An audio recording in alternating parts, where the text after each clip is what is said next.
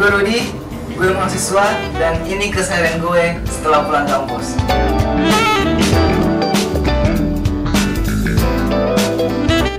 Paling parah tuh kalau tidur di kursi badan terasa pegel-pegel.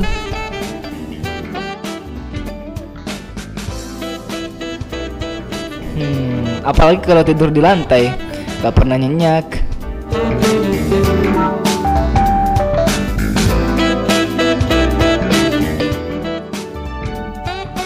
Tapi kalau di sini di Comforta Spring Bed, hmm, rasanya nyaman dan pengen tidur terus. Ini cerita gue tentang Comfortas Spring Bed. Kalau lo?